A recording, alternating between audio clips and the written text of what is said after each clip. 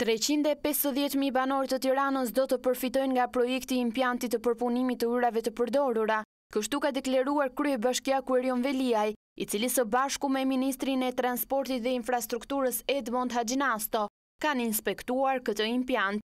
Sipas Veliajt, Pas më shumë se pesëdhjetë vitesh po ndërhyhet për kanalizimet dhe pastrimin e ujërave të zeza.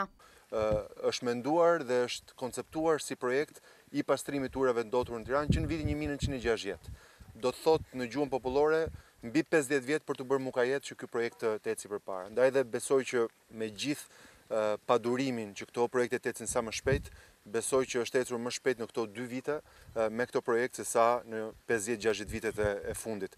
Është një lajm i mirë sepse ndërton një standard të ri, ku ne nuk jemi më të kapur në befasi nga mënyra se si Lana del nga nga shtrati vet, nga mënyra se si ndotjet përfundojnë në det. Ministri i Transportit dhe Infrastrukturës Edmond Haxhinasto vlerësoi se impianti i ujërave të përdorura për Tiranën është shumë i rëndësishëm në aspektin mjedisor dhe shërbimit ndaj qytetarëve. Sigurisht që ky impiant i trajtimit të ujërave të përdorura për Tiranën është shumë i rëndësishëm nga aspekti i mjedisit, nga aspekti i shërbimit ndaj qytetarëve.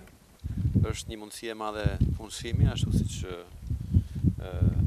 tregohet edhe nga prezenca e të punësuarve në këtë kantier, por besoj që gjëja më e rëndësishme është që produkti i saj do të jetë shumë cilësor dhe do të shërbejë aktualisht sipas të dhënave teknike dhe sipas projektit rreth treqind e dyzet e pesë mijë banorë të Tiranës do të jenë përfitues nga hera e fundit që e kemi vizituar këtë vepër, është dyfishuar ritmi i punimeve.